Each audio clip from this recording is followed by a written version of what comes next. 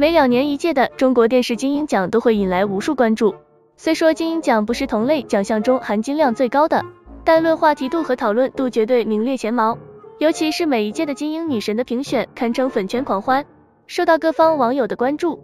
金鹰女神几乎成了评判娱乐圈女星业绩的风向标。随着二零二二年金鹰女神的入围女星名单公布，着实让大家大吃一惊。以某几位女星的实力也能成为候选人，不禁让大家怀疑。金鹰奖的含金量都这么低了吗？成为候选人这几位凭啥？一 Angelababy，从历年的金鹰女神来看，基本都是各方认证的收视保证。不光要有颜值、有人气，关键还得有大热剧的加持。如果单看前两项的话，Angelababy 绝对有资格角逐一下二十二年的金鹰女神。毕竟 Angelababy 的颜值一向是她的杀手锏，否则也不会有资格连续十年登上时尚芭莎的封面，成为同期小花中登峰次数最多的人。再说人气和流量嘛，虽说现在的 Angelababy 资源降级，只能和小鲜肉在演偶像剧，但所谓瘦死的骆驼比马大，人气这块她自然也不用担心。除去这两项，说到她的演技，那在圈里可是出了名的尴尬。从最初的瞪眼演技到后来的绿布抠图，Angelababy 的演技可不值她自己口中的我就值八千万片酬的说法。尽管之前她在摩天大楼中的哭戏为自己挽回了一些名声，可好像也没啥用。再瞧瞧他提名的三部代表作，无论是口碑还是收视，只有最差，没有更差。如此看来，Angelababy 只占了一个女神，跟金鹰没半毛钱关系。Angelababy 这样还能成为金鹰女神的候选人，是该说金鹰奖含金量太低了，还是这个奖项的包容性变大了呢？二吴谨言，当大家看到吴谨言能入围金鹰女神的评选，费解程度不亚于看到 Angelababy 出现在名单中。吴谨言算是出手极为大女主，二零一八年的《延禧攻略》让她一炮而红，随后她又出演了《皓镧传》等剧，受到于正力捧。在传家中，吴谨言更是女二的身份，女主的戏份，这偏爱也是没谁了。可惜啊，吴谨言的演技可有点对不起于正的良苦用心了。除了《延禧攻略》外，她在其他影视剧中的表现，可以用辣眼睛来形容了。尤其是在《你是我的答案》中，吴谨言算是开启了惊悚夸张演技的新派别。更夸张的是，这部神剧还成了他的提名作品。就算不提演技，单单是之前吴谨言惹怒六公主，被官博点名批评这件事，她能入围金鹰女神的评选，就够匪夷所思的了。作品数量本就不多，质量又没有保证，国民度和影响力也不行，实在想不通吴谨言是凭什么成为金鹰女神候选人的。不过想到迪丽热巴都能打败樱桃闫妮拿下金鹰奖的事后桂冠，Angelababy 和吴谨言只是入围候选人，也就没啥好奇怪的了。演技有硬伤，迎面可忽略。三关晓彤，作为被观众看着长大的国民闺女，关晓彤在国民度方面，大概能在十位候选人中排进前三。电视剧《二十不惑》以及已经官宣的《二十不惑二》，也为她赚足了流量。此前她在《王牌对王牌》中也积累了不少好感。其实关晓彤使使劲儿，还是能冲一冲金鹰女神的。但要说到演技，关晓彤的演技最多算是中规中矩，超常发挥能达到及格水平。比如她在电影《影》中的表现。大体还看得过去，可他大部分时间都处于发挥失常的情况，演技惨不忍睹。凤求凰中的缝纫机造型以及夸张演技，让网友直呼关晓彤就不能演点正常的剧吗？作为演员，她最出圈的居然是洗脑神曲你 XX。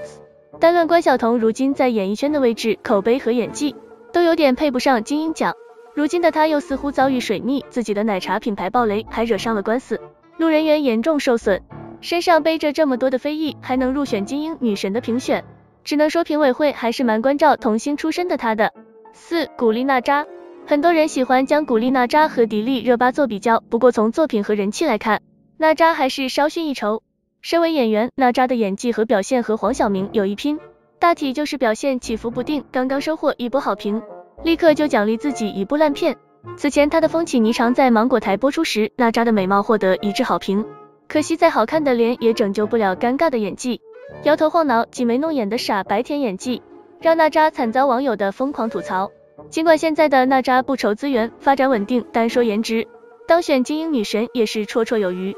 但金鹰女神毕竟是电视剧领域奖项的代表，论演技，她恐怕不够格。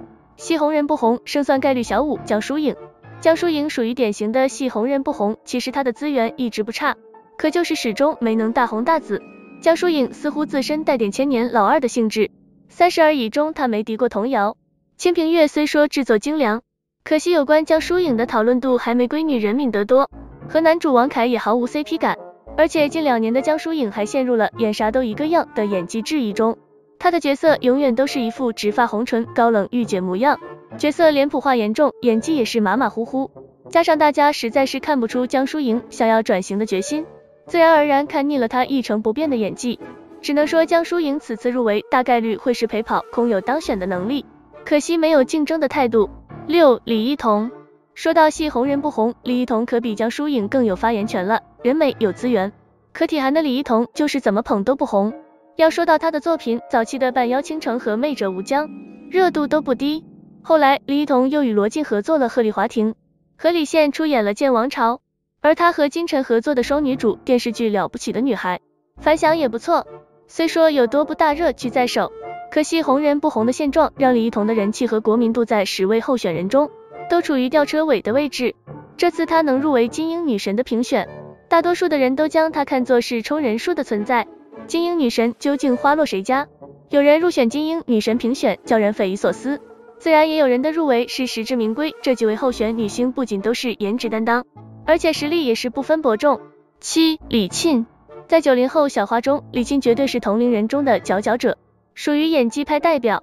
不论是前期的《白鹿原》，还是后来的《楚乔传》《庆余年》，李沁的演技都可圈可点，既演得了萌萌白月光，又演得了黑化反派。人长得漂亮，演技也在线。李沁这么多年来也是一直勤勤恳恳拍戏，不整什么幺蛾子，圈中口碑还是挺好的。只是他为人低调，一派佛系作风，虽有演技加持，但国民度方面还有所欠缺。八赵今麦。赵今麦作为此次十位候选人中唯一的零零后，实力不容小觑。在一众零零后演员中，赵今麦的演技绝对是大佬级别的。从最初在《小别离》中给张子枫做配角，到后来在《少年派》里已经可以和张嘉译、闫妮等实力派对戏，他的进步有目共睹。而在《重生》中，赵今麦与影帝张艺彪戏也毫不示弱。昔日邻家妹妹蜕变成暗黑系女孩，表现惊艳。二零二二年，赵今麦更在电视剧《开端》中独当一面。凭借高收视、高口碑，她也再一次证明了自己的实力。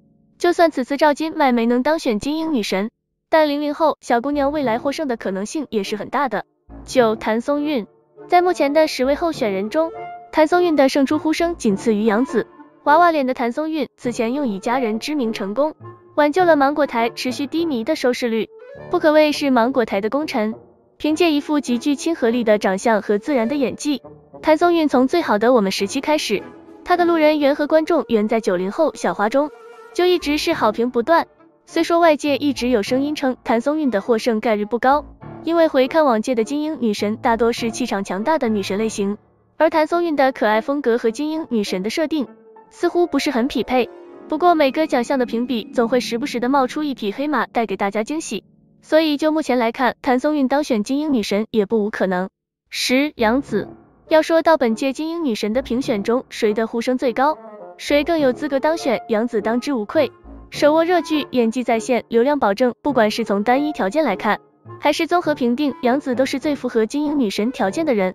尤其是她的三部作品，热度、口碑、收视，哪项数据不是杠杠的？从童星到顶流，杨紫在圈里的影视表现和个人口碑有目共睹。四年前，杨紫惜败迪丽热巴，让很多人为她鸣不平。